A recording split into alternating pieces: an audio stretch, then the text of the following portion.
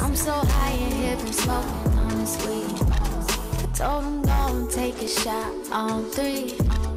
Told him drinks is on me.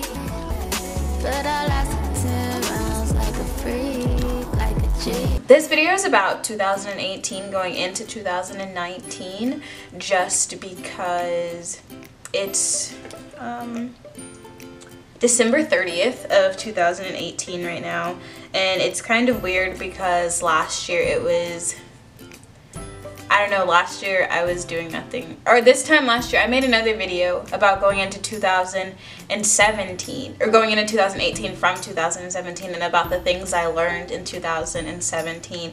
But I posted it, but it's like unlisted now because it's really ugly.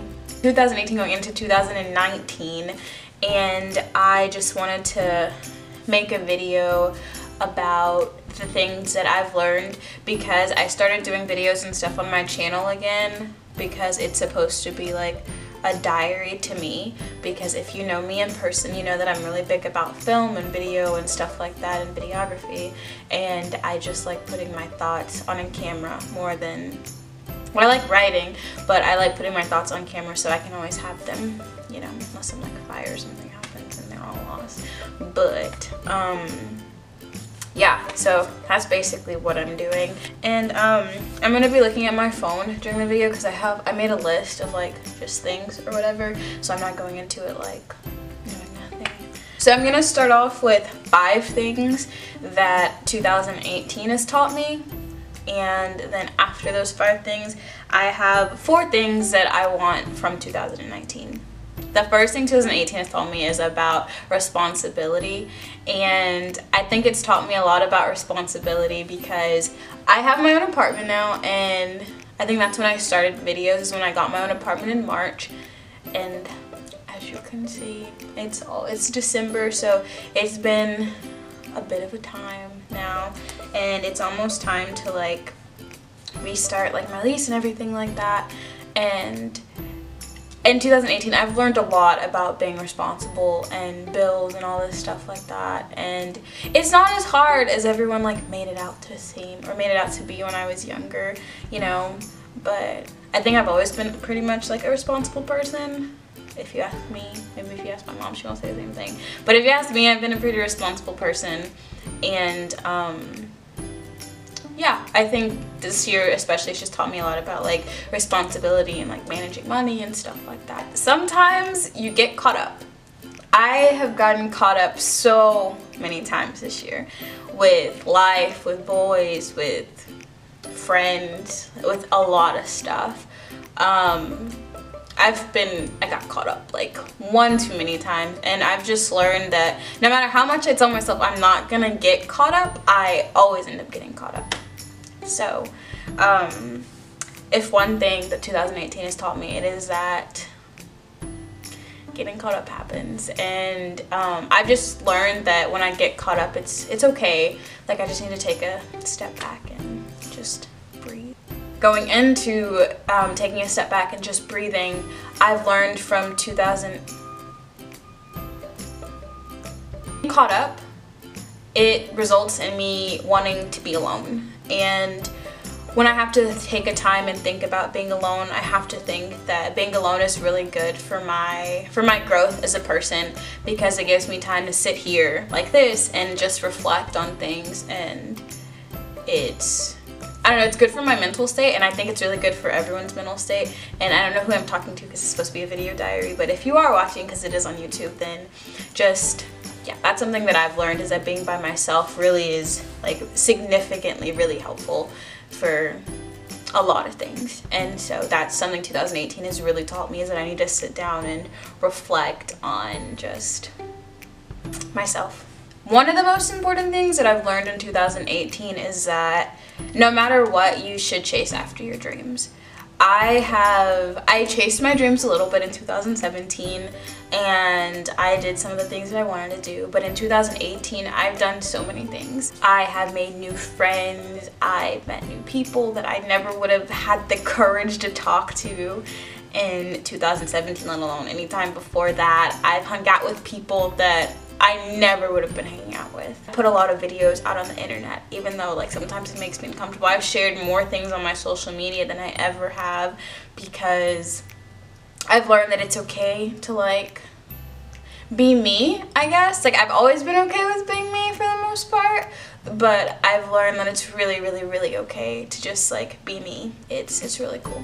So if 2018 has taught me anything, it's that I really need to chase after the things I want and chase after my dreams. Because if I'm not gonna chase after my own dreams, like who's gonna do it for me? And finally, the fifth thing and the most important thing that I have learned in 2018 is that I cannot be an enabler because this year, I'm just gonna tell you, I have enabled myself to do a lot of stuff, or I've been an enabler to myself to do a lot of things that I know down in my heart like I shouldn't be doing but then like in my heart too I really want to do it. So I guess in my mind I know I shouldn't be doing it. And um this is one that like really hits home for me this year specifically and in life because I if I want something I'm just gonna do it you know? Like I feel like that's just a human trait is to get what you want. But I've learned that there's a difference between the good things that I want and the good things that I want but don't need. And because I don't enable other people to do dumb things so I don't understand why I should enable or be an enabler for myself for dumb purposes. One thing I've learned about uh, 2018 is that when we enable ourselves to do things, excuse me, when we enable ourselves to do things, it's not always the best. So don't be an enabler for yourself and don't give yourself excuses. And that's something that I have to take really personally going into this next year because if I do that, then I won't grow as a person. Also, someone like really, he's my age or whatever, and yada yada yada. Biggest crush whatever. But um, he once told me that like you have to get uncomfortable and able to do things. And I think that that's why I enable I enable myself to do a lot of stuff is because I don't want to put myself in uncomfortable situations. But you have to put yourself in uncomfortable situations in order to grow and be a better person. First off, I want to do a short film, or it's not really a short film, it's actually a whole length film, and that's something that I wanted to do for like a long time. And in 2019, I'm really, really hoping that I finish it because I really need to finish it. And it's a big dream that I have because I have this thing that by the time I'm 25, I want to have a lot of stuff situated in my life. And by the time I'm 25, I want to have this little short film done. So, um, in 2019, one of my biggest goals that I have is to finish my my film or just finish writing it down and scripting it all out and everything like that and then everything else will come because in 2019 um, I'm gonna be 20 that freaking baffles me because I would have been alive for two whole like decades. That's just weird. So in 2019, I'm I want to finish my my movie because it's something that I really want for 25 year old me. So I have to do it now. So the next thing that I want to do in 2019 is more of a professional goal as well as like a personal goal, I guess, but I want to be more of a presence on like platforms, like social media platforms, I guess you could say. So for instance, Instagram, Twitter, uh, Facebook maybe, Snapchat, I want to be just like a bigger presence and like showing like who I am and what I stand for and all this stuff because in the world of mass communications, which is what I study in college, social media is a very prevalent part of it and I know that in the future, looking into the future, I'm gonna need a social media presence for things that I wanna do. So I should start that now so I'll have it when I'm older.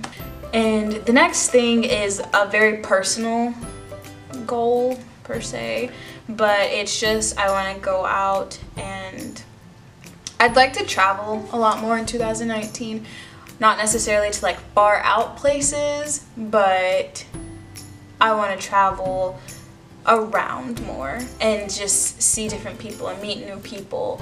And for instance, I went to Austin and that was really cool and it's only three hours away but it felt really different and it felt like something I could do, just do. And I met so many people and cool faces and everything like that and had a lot of new experiences. So in 2019, I want to go out to new places and like art museums and debates and festivals and stuff and just take pictures and enjoy my time there and everything of that nature. The next thing that 2019 or that I want from 2019 and that I kind of need in 2019 is this saying, let the hurt go and grow. That's something that I really need out of 2019. I was talking to my really good friend Riley Homer, hey Riles, and I was just telling her that I was really sad the other night. It was about like a guy or whatever and it was kind of dumb but um, I sent her this picture and then in the text thread I was like I think it's time for me to let this hurt go so I can move on in 2019 and that's something that's really important and that I've learned that I have to like just learn how to do is to let the hurt go in life and just grow from it you know? As people I feel like we we tend to dwell on things and I know that I tend to dwell on a lot of things. So I um, I'm gonna that's a big focus of mine this year is to just let all the hurt go in my life and just grow from it because I mean that's all I can do you know when we think about it like that. That's all you can do for things that you can't change because no matter what some situations are just out of our control. So with this next year that is something that I'm really really, really, really looking forward to. So that's my biggest thing that I want to do in 2019 is to let the hurt go and grow. So I guess this might be my last video for 2018 actually because it's gonna go up tonight. So it's my last video of the year and I just wanted to say if you're here or if you've been here for my little small bad journey of posting this year thanks so much. Thank you so so so much for everything and for all the comments and all that stuff. And um, I really appreciate it. And follow me on my social media. And the, what's it called? Oh my gosh. All my social media is in the description box. And if I can find a way to link it in the video I'll link them down below on the corners of the video, I guess, like most cool YouTubers do and stuff like that. But, um, yeah, thanks, and I guess I'll catch you guys in 2019. Bye.